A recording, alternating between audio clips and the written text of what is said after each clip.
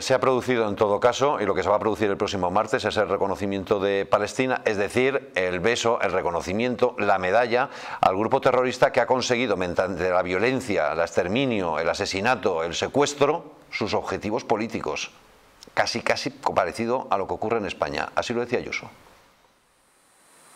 hagan con jamás lo mismo que con ETA. Tú mata, que yo te daré una comunidad autónoma. Tú mata, que yo te daré un Estado. Ese es el mensaje que están dando. Bueno, palabras durísimas que han generado una cascada de reacciones. Incluso el Partido Socialista ha llevado esas palabras a los tribunales. María Jesús Montero reaccionaba de esta manera. Bueno, a mí me parece absolutamente vergonzoso lo que la señora Ayuso se ha puesto en la boca Creo que el grado de insulto, de hipérbole, de exageración propia de la ultraderecha en los planteamientos que está haciendo ponen de manifiesto una radicalización del Partido Popular que preocupa y mucho. Desde la extrema izquierda, Errejón también se suma a la crítica dura contra Ayuso. Bueno, es difícil que alguien a quien no le importó la muerte de 7.300 madrileños en las residencias le importe el asesinato de 35.000 palestinos en el genocidio que está cometiendo Israel. Y ya la respuesta más salvaje es la de Pablo Padilla, diputado de Más Madrid, que señala con el dedo así, haciendo como si fuera una pistola eh, contra Ayuso. Alucinante.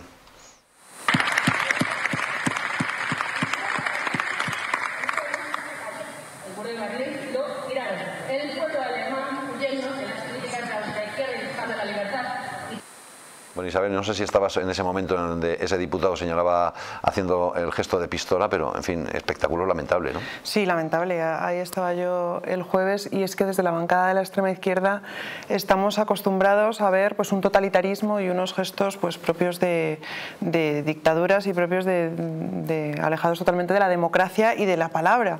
Entonces, bueno, pues eh, vemos como la extrema izquierda y esa falsa superioridad moral que siempre intentan imponer y que llevan imponiendo durante años, pues yo creo que también tenemos que hacer frente, no de las mismas formas eh, que lo hacen ellos, sino con palabras y con argumentos, porque creo que tenemos muchos argumentos para, para hacer frente al totalitarismo y a las imposiciones de, de, la izquierda. Y bueno, pues es lamentable que tengamos que vivir esto en la Asamblea de Madrid, la verdad. ¿Hubo exceso verbal por parte de Ayuso? Bueno, yo creo que a la izquierda hay que hacerle frente y hay que hacerle frente con palabras y con hechos. A mí eh, me parece que eh, en la Asamblea de Madrid tenemos que hablar de los madrileños, tenemos que hablar de los servicios públicos, que es competencia autonómica, que muchas veces están olvidados. Es decir, eh, yo veo en la Asamblea de Madrid, tengo, llevo poco tiempo como diputada de Vox, y a mí lo que me sorprende es que se hable de Hamas, se hable de Pedro Sánchez, se hable del Falcon, se hable del IRPF y no se hable de los impuestos por ejemplo, autonómicos o de la gestión de la sanidad, de los centros de atención primaria, de la educación pública, de la vivienda en Madrid, que es lo que hace falta. Entonces, bueno, pues eh, yo entiendo que muchas veces pues, se busca ese vídeo fácil, ese tweet rápido y esos medios de comunicación que pongan el foco hmm. sobre un vídeo determinado, pero la competencia autonómica y hay muchas cosas que mejorar en Madrid, desde luego. Eh, creo que los que conocemos por dentro la institución lo sabemos y los madrileños que acudimos a la sanidad pública, a la educación pública, al transporte público, pues yo creo que hay muchas cosas que hacer y creo que, que, hay que hacer un ejercicio también de. ¿Tienes la sensación de que el gobierno, el gobierno regional está más bien pensando en política nacional que en otra cosa?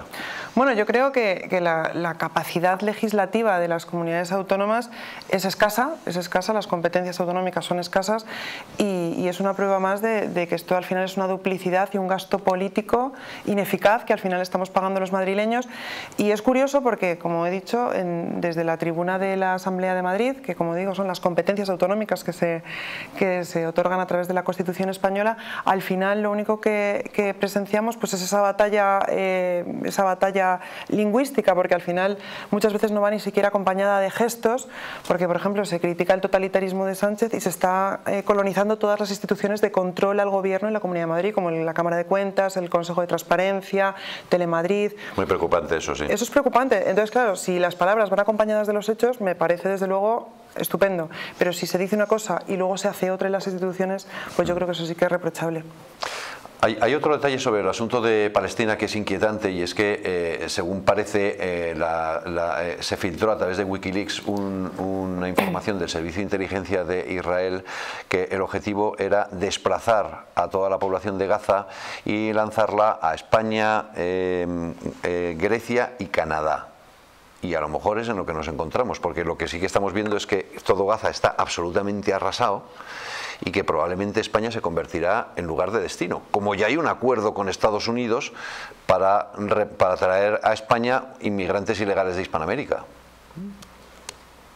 Mira, eh, yo no soy un hombre, no soy un espía, pero vamos, eh, solo me faltaba, pero eh, en política exterior hay muchas directivas, lo que se llaman propuestas o posibilidades eh, que a veces no tienen por qué ser directamente directivas aplicadas o perseguidas, simplemente contempladas. Mm. Es decir, si hay un desplazamiento masivo, ¿hacia dónde será el flujo de ese desplazamiento? Pues se pueden prever lugares que tienen determinados convenios o preferencias o que son rutas habituales de paso. Pero lo lógico, lo lógico es que los desplazados de Gaza vayan a Egipto, que hablan ah, árabe, pero es que, claro, por eso, eso sería lo lógico. Entonces, ¿qué hacen en España? No, pues por eso lo que digo es que decir, seguramente es una directiva que, que, intente mm, eh, seguramente contemplar el flujo hacia dónde va a dirigirse, porque sabe ese precisamente cuando se hace eso que la frontera de Egipto es impermeable está blindada. Es decir, en realidad todos los, todos los países acuerdo, pero se puede llegar a un acuerdo con el no quieren un solo palestino que cruzando la frontera, no quieren uno. Ya. No quieren ni uno. Dicen, dicen que precisamente para evitar que Israel eh, consiga vaciar aquello de palestinos y ir tomando posesión y entonces lo que quieren es mantenerlos ahí con eh, eso es lo que dicen, pero a lo mejor lo que realmente pasa es que lo que no quieren es que tener eh, problemas de terrorismo islámico dentro de casa. Bueno, es que aquí es, es, es la Es que a lo mejor eso es lo que explica por qué los países islámicos no han pedido el reconocimiento del Estado de Palestina, porque en realidad mientras jamás esté débil todo va bien, pero si jamás está fuerte el problema lo tengo yo. Es que nadie quiere a los palestinos, es decir, los primeros que no los quieren... Bueno, los palestinos no sé, pero a jamás no lo quiere nadie. No, no, pero, decir, pero no, no, no, y a jamás desde luego, pero, decir, pero a los palestinos tampoco. Los pueblos que hay alrededor, los países que están alrededor no quieren saber nada de los palestinos. Están, siempre han utilizado esto, primero por sus guerras particulares, la guerra de los seis días, la guerra del Yom Kippur, en fin, pero luego, eh, sobre todo, por una cuestión de utilizar algo que incordie tener ahí algo que esté mm, haciendo imposible eh, eh, bueno, pues, eh, la, estabilidad y la paz en esa zona y sobre todo en Israel. Y ya está. Pero no les importa a nadie. Es decir, como a Pedro Sánchez tampoco le importa un pepino, un palestino, ni dos, ni tres, ni veinte.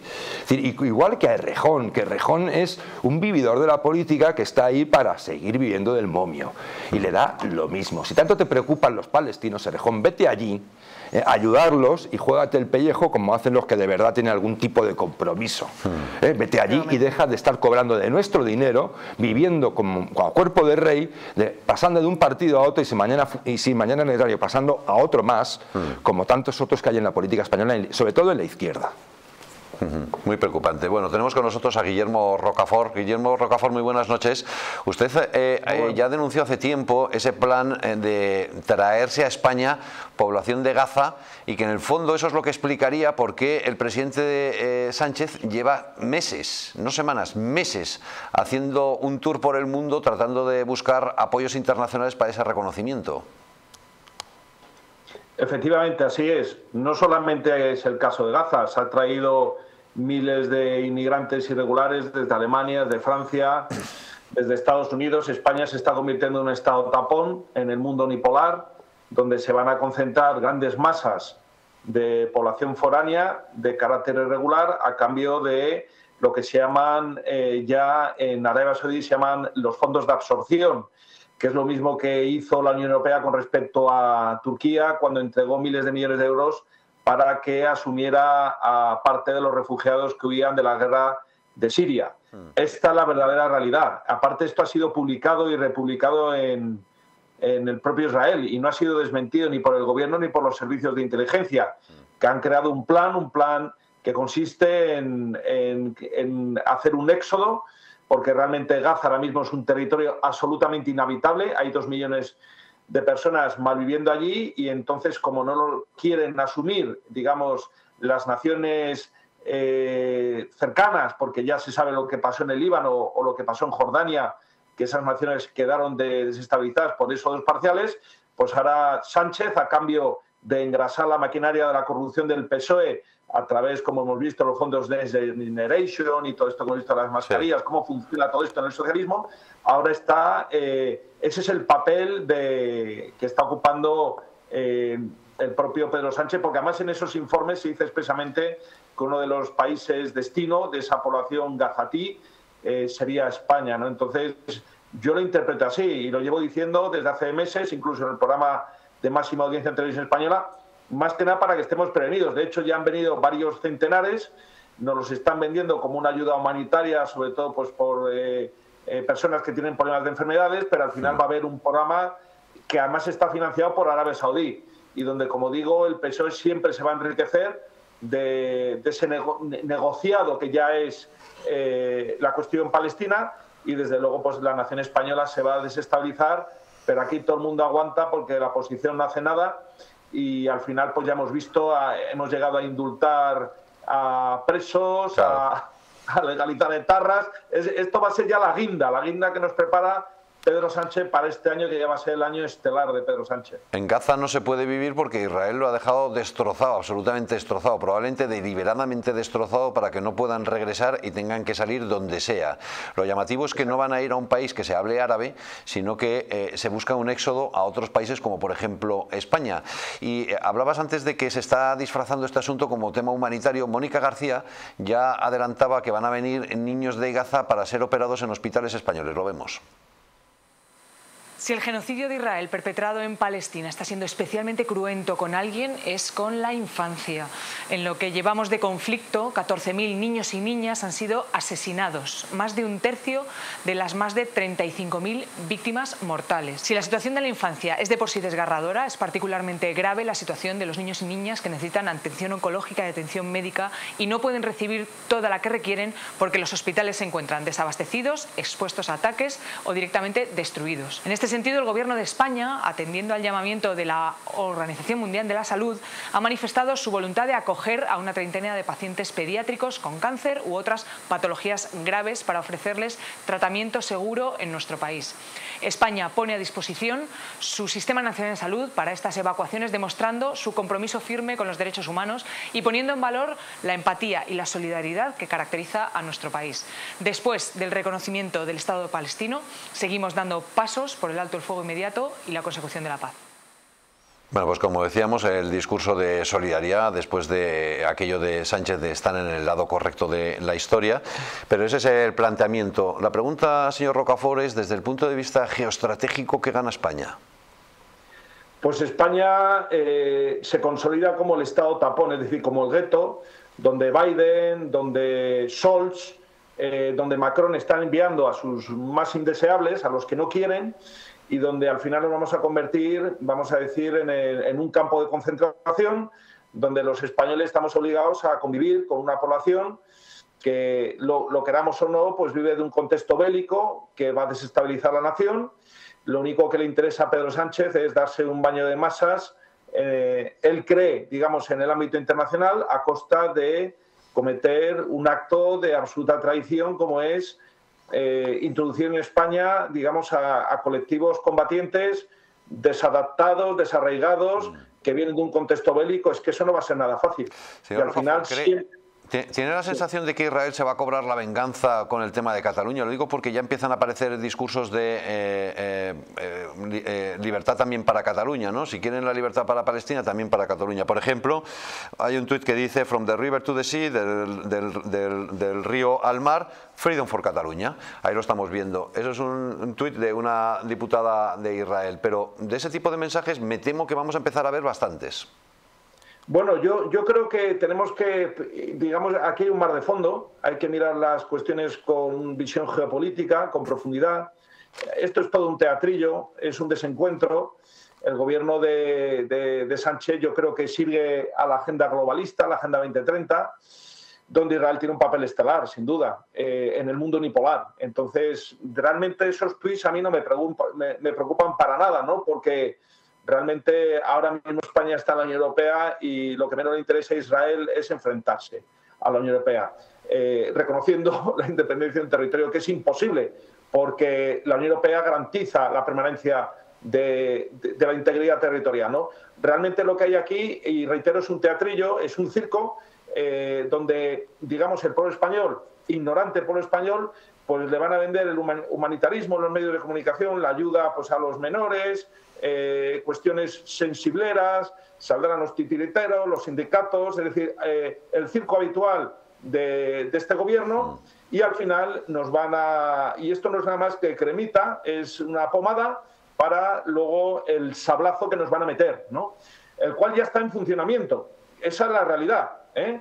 Y aquí no veo yo que Israel eh, vaya... En todo caso, generará eh, mucha tensión para que luego se llegue a esa solución que es satisfactoria para ellos, que es lo que llevan ambicionando desde hace décadas, es despoblar Gaza para recuperar ese territorio, explotar el gas, las riquezas que tiene ese territorio y, lógicamente, no olvidemos eh, el peligro que supone para la existencia de Israel dos millones de personas, como hemos visto en octubre eh, con el, conflicto, el comienzo del conflicto. Por lo tanto, es un teatrillo. Aquí ya nadie nos va a engañar, ya somos mayores de edad.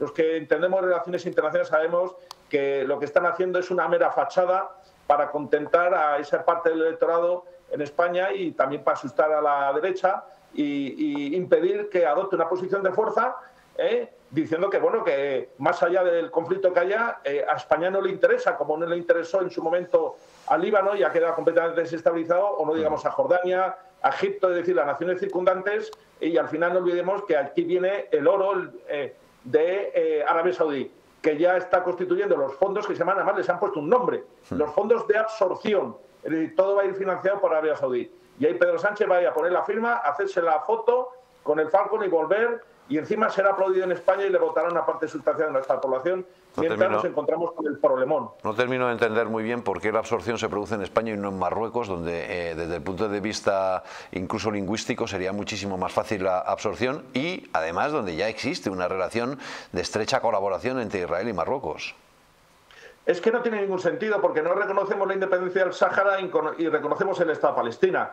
Es que realmente la política internacional de España no existe desde el año 75. Ahora estamos eh, al arbitrio de lo que digan desde Estados Unidos, de otras potencias, desde Bruselas y de la propia Israel. Hmm. Y al final lo que hay es un teatrillo y nosotros, pues, eh, a cambio de tenemos la desgracia de tener un partido tan corrupto como el PSOE, profundamente anti-español, entonces, ¿qué mal le da? Si ya manda la ETA en las instituciones, pues ya que manden otras organizaciones terroristas. ¿no? Mm. Es decir, no hay límite, no hay límite. Es decir, eh, se traería a todos los terroristas de todo el mundo Pedro Sánchez a nuestra nación y además lo peor de todo es que una parte sustancial de nuestra nación le votaría.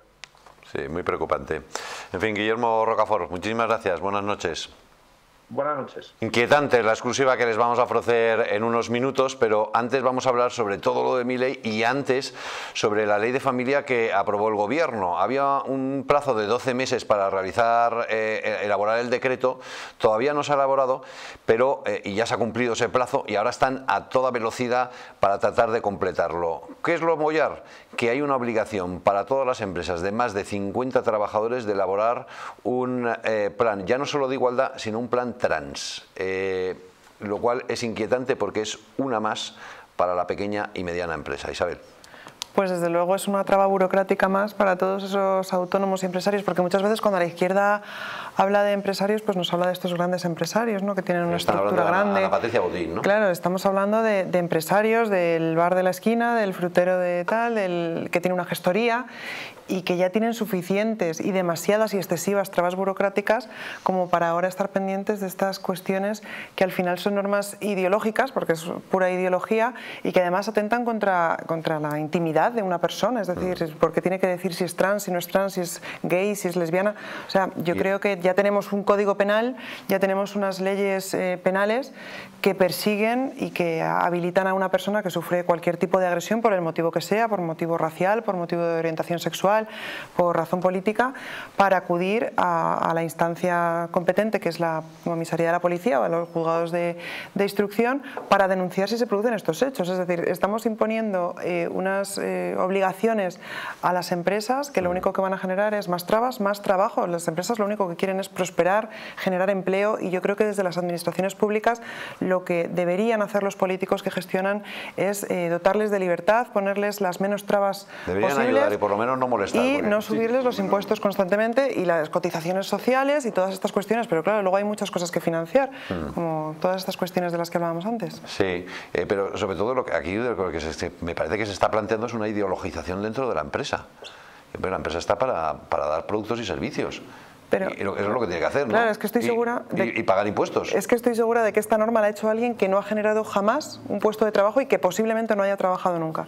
Entonces, claro, cuando los políticos que tenemos son mediocres, no han trabajado nunca, no han generado un puesto de trabajo, se dedican a legislar para hacer eh, normas de obligado cumplimiento para las empresas, pues vemos que ocurren estas cosas. Pero luego es que además probablemente habrá un plus para aquellos que son trans, ¿no? Entonces eh, eh, hay un incentivo todavía mayor del que ya existe ahora mismo. Habrá que ver el contenido exacto de la ley, pero me temo que ocurrirá lo de siempre.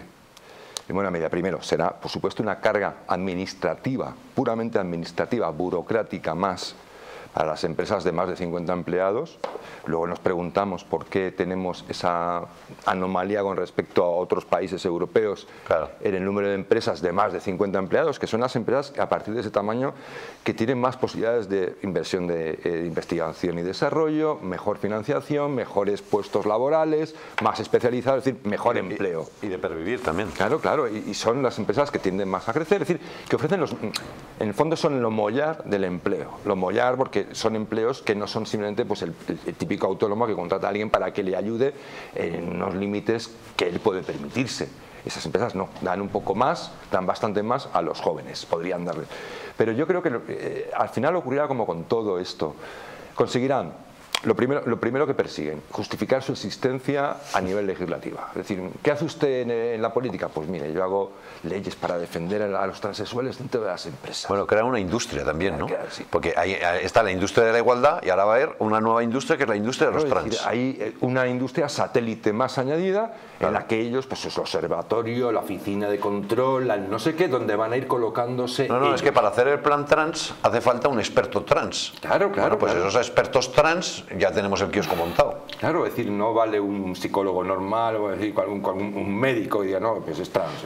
No, no, tiene que ser un experto, pero claro, que tiene un experto que vaya supervisando todos los planes. Esos, esos expertos además que no tienen espíritu, tienen cero, es decir, es un puro humo, puro humo. Es decir, no son gente colegiada en nada, gente que tenga práctica de verdad, una enfermera, un médico, un psicólogo, un psiquiatra, lo que sea. Bueno, decir psiquiatra ya es delito de odio porque, en fin, pero, pero sobre todo es, son leyes que no tienen ninguna utilidad, que al final lo que van a obligar simplemente a los empresarios, como siempre, a las empresas a hacer es unos trámites, tener que buscar, subcontratar o a un gestor o algo que le haga las trampas lógicas de esa, que tendrá esa ley, pues mira, esto se rellena así, así, así, se hace así, ¿y cuánto te cuesta? Pues tanto, paga, paga. Simplemente va a ser van a detraer recursos, más recursos de las empresas, tiempo y recursos. Y ellos se colocan. Es decir, mm, eh, lo has dicho tú muy bien, es decir, una sociedad sana es aquella en la que no me importa si tú eres mujer u hombre. Es que da igual. cuando estoy trabajando, lo que quiero es que si eres compañera, somos compañeros de trabajo, eh, hacer bien nuestro trabajo, tener una buena cooperación y no tener problemas eh, dentro de la empresa en el sentido de que alguien se escaquea y, y mete en un lío al compañero, en fin, que cada uno cumple, es lo único que me importa. Igual que en la, en la vida, me importa que seas una buena persona. Una persona decente, ¿no? Como se decía temerosa de Dios, ¿no? y, es suficiente, y no hay más, y, esa es la verdadera libertad y la verdadera dignidad de las personas. Sí, lo que pasa es que como hay una sospecha por parte del gobierno de que en el fondo no vas a ser tan bueno y tanto te tengo que poner a alguien que te vigile y por eso está en los planes estos, el plan de igualdad, el plan trans, etcétera. Bueno, tenemos con nosotros a Dani, que es vicepresidenta de la Asociación de Trans No Normativos. Dani, gracias por acompañarnos. Buenas noches. ¿Qué hay? Buenas noches. ¿Cómo estamos? ¿Ustedes como asociación trans están contentos con esta, contentas con esta ley que se está planteando eh, que les permitiría, les daría un plus, entiendo, ¿no? Para, tanto para la contratación pública como incluso para acceder a un puesto de trabajo? A ver, nosotros realmente, bueno, nosotras realmente, pues eh, te voy a ser sincero, eh, la realidad es que es una ley claramente ventajosa, que es una ley que se asemeja a la igualdad, pues a lo mejor ese es el problema que de verdad nos deberíamos de plantear. Aquí en España ya llevamos mucho tiempo eh, sufriendo un montón de discriminaciones, discriminaciones positivas hacia un sector de la población que claramente son inconstitucionales y que de alguna forma, pues, oye, nos hemos organizado para, para plantar cara a todo esto, así de claro. Mm. Entonces, eh, en el fondo hay un plus para a todas aquellas eh, mujeres trans como ustedes que han decidido dar un paso al frente y decir, sí, soy trans. Eso no solamente les da el plus de ser mujer, sino el plus trans, doble plus. Claro, tenemos ahora mismo tenemos un doble plus, un doble plus, por así decirlo. De hecho, estas, políticas ya llevan, llevarán un año y medio o dos, por ejemplo, en la función pública donde yo pertenezco, que ya que llevan, llevaban ya tiempo que se estaban de alguna manera implementando, por ejemplo, eh, los procesos selectivos de ascenso o de nueva incorporación, en la que eran temas que estaban claramente eh, politizados pero que de alguna forma se estaban llevando a este, a este extremo. Eh, las asociaciones de sindicatos y de, otras corporaciones estábamos haciendo ya un poco de, crítica, intentamos hacer crítica constructiva respecto a todos estos temas. Hmm. Eh, ¿cuál, es el, eco que están recibiendo? Porque ustedes están lanzando ese mensaje y, qué es lo que reciben. Nosotros, nosotros eh, nos hemos, hemos recibido, la verdad, que muy buenas críticas ¿eh? por parte de, de, un sector bastante amplio de la, de la población. Yo creo que ya a día de hoy eh, todos estamos un poco ya hartos de toda esta ideología de lo que puede ser la ideología de género o las culturas estas que son claramente eh, pues inconstitucionales o que de alguna forma eh, lo que buscan es la, desigualdad ¿no? y, la, y la, eh, la desconexión, por así decirlo, de, de, las culturas que ya, que ya venían aquí instalándose en, nuestro país o que eran autóctonas de nuestro país, como puede ser la familia o, o alguna, alguna otra de estas de, esta, vamos, de, de, estos ataques, que al final son ataques, creemos que son así, nosotros lo identificamos así, y oye, de alguna forma estamos intentando defendernos. Cuando a usted, eh, Dani, le dicen que eh, usted dice que es una mujer, pero que en realidad no lo parece, ni tiene nombre, ni tiene apariencia de mujer, ¿qué responde? Yo respondo que la ley me lo permite así y como la ley lo permite, eh, pues la ley también es bastante dura con la gente que cuestiona este tipo de, leyes. Entonces nosotros pues estamos haciendo simplemente uso de la ley. La cuestión yo creo ahora que va a ser la de eh, si van a respetar realmente sus leyes o nos van a excluir, como ha sido eh, en muchas ocasiones lo que hemos sufrido por así decirlo, en nuestro colectivo. Hmm. Sí, porque de momento ya ha habido un juez que no ha reconocido la transición de sexo de, alguna de ustedes. Claro, mira, nosotros, nosotros, eh, te voy a adelantar una primicia, nosotros hemos creado un mapa, ¿vale?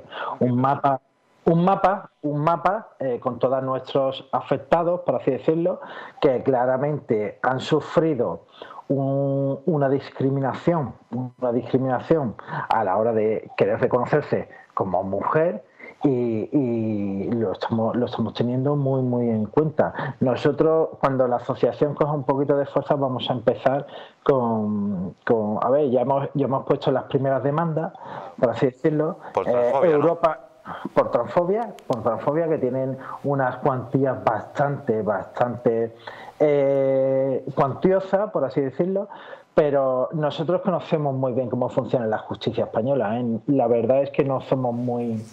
Eh, que, sabemos que aquí en España no vamos a poder eh, de, alguna, de alguna forma pues reivindicar nuestros derechos que sí están constituidos, que sí mm, supuestamente dicen ellos que sí los tenemos, pero de después a la hora de la verdad no se quiera, no se quiere hacer y no se quiere dar. Nosotros nuestra, nuestra idea es eh, gastar todos los recursos judiciales que podamos para presentarnos en Europa, que ellos sí sabemos que nos van a dar la razón. Hmm. Bueno, pues vamos a estar muy pendientes de todo ese recorrido. Dani, gracias. Un abrazo, buenas noches. Aquí estaremos para lo que necesites, pues, pues nada, y desde aquí, pues, hombre, mandar un saludo a tu programa y que a todos los, telespectadores que se sientan mujer, que oye, que, es el momento, que esto puede cambiar de un día para otro y las ventajas son amplias. ¿eh? La, ley lo permite. Dani, gracias. Buenas noches. un saludo, buenas noches. Bueno, es lo que viene siendo reventar la ley desde dentro, entiendo, ¿no, Javier? Claro, claro. claro, la ley me lo permite porque lo dice claramente. yo ni me siento mujer ni nada. Solamente tengo que decir que soy mujer. Punto. Pues sí, soy mujer. Como nadie define lo que significa ser mujer. No, y además no, ni siquiera se establecen requerimientos por aquello de no patologizar la, claro, claro, claro, Trans, eh, la, trans, la tendencia trans, mm. aunque eh, en todos los diccionarios eh, médicos eh, psiquiátricos y demás, se considera una afección. No le llaman enfermedad, pero no han quitado la palabra afección. bueno, es, lógicamente demostrar pero como la ley no la ley no exige nada, ni examen psiquiátrico, ni psicológico, ni nada de nada. Simplemente me siento mujer o soy mujer y ya está. ¿Qué significa ser mujer? Lo que cada uno interprete. palabra vale, es decir, y no sabemos siquiera, pues, como dice este buen hombre, claro, a ellos los tratan mal o a ellas los tratan mal los propios que promocionan la ley porque los consideran un fraude. no, vamos a ver, es la ley que tú has hecho. Claro. Es decir, vosotros no queréis que patologicemos todo este tipo de cosas cuando realmente yo creo que que es una potestad y un deber, un deber de velar de, por, sobre todo por los menores, mm. ante no solo que tenga una disforia de género, sino cualquier alteración de lo que llamamos normalidad. que luego quiere ser, eh, se confirma que tiene un problema de disociación del género con respecto al género físico o el sexo, pues bueno, pues, pero en principio eh, lo que han hecho es una barbaridad. Y esto es reventar efectivamente la ley desde dentro, porque la ley es, se basa en, en el absurdo. ¿no? Bueno, yo creo que ha habido un devenir de normativa estatal, autonómica, incluso local, de precisamente de colectivización y de ideología, de legislar sobre, sobre algo que es ideología pura. Mm. Entonces, eh, yo creo en la igualdad ante la ley, yo defiendo la igualdad ante la ley, creo que tenemos un código penal, un código civil que nos protege y bueno, pues estas normas ideológicas al final lo único que hacen es aprobarse precisamente pues para generar una serie de organismos que al final alimentan esta ley y estas redes clientelares que se crean alrededor probablemente, Isabel, la, mejor manera de combatir estas leyes ideológicas es reventarlas desde dentro por reducción al absurdo. Que o derogarlas. haciendo, que, bueno, derogarlas por supuesto, pero, pero de momento, ahora que están vigentes, hacer lo que hace esta asociación de trans no normativos, que es reventarlas desde dentro. Bueno, en la Comunidad de Madrid el PP tiene mayoría absoluta y no ha derogado la ley trans autonómica, por ejemplo, como estamos exigiendo desde Vox. Por eso, pero es que estos, estos, estos de trans no normativos actuarán también en la Comunidad de Madrid, reventarán la, inconsistencia de la ley de la Comunidad de Madrid también, ¿no? Me imagino yo creo que esto pasará el tiempo y nos tendrán que jurar que ha pasado. Eh, porque, vamos a ver, esto no es una falta de respeto a nadie, como dices tú, eh, la igualdad ante la ley. Es decir, si sobre todo en una sociedad más libre, donde las personas son, tienen una dignidad más, más garantizada, son aquellas en las que las diferencias que son de este tipo, pues de color de la piel, de, procedencia, de creencia, de, ideología, a la hora de, la convivencia cotidiana, no que seas político o lo que sea, es otra historia, pues en la vida diaria, pues no, sean invisibles. Ah. Es decir, eh, no nos importen, es decir, eh, nos importe pues decir, eh, pues el individuo en sí, con todas sus características que tienen muchísimo más que ver con la cuestión puramente sexual o de, o de color de piel o de si es... Pero es que el socialismo precisamente juega a eso, a colectivizar, ¿no? a hombres, a, decir, a esclavizar a la gente y enfrentarnos, enfrentar hombres contra mujeres, blancos contra negros, homosexuales contra heterosexuales. Y yo no soy yo, sino que yo soy mi colectivo. Eso, yo soy la identidad que diga al partido. es decir, si tú me dices que yo soy un trans no normativo porque lo dice el jefe del partido, yo ya de ahí, todo lo demás que haga en mi vida es intrascendente. Claro, pero al final se perjudica, por ejemplo, con las leyes de género, al final se está privilegiando a las mujeres en muchos ámbitos, en muchas cuestiones, con las leyes de cuotas, con estas cuestiones y al final dices, oye, pues ahora vamos a ahora vamos a dar un salto más con el tema de los trans, que ese es el, el siguiente capítulo. Por eso yo creo que este tipo de iniciativas son importantes. Bueno,